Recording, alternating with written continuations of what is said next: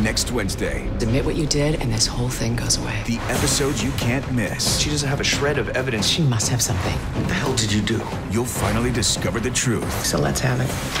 Who sold Mike out? Your chances of winning this case just took a mighty big turn for the worse. Suits, all new next Wednesday at 10 on USA. Be the first to eliminate more suspects by unlocking special clues and exclusive content at usanetwork.com slash who sold Mike out.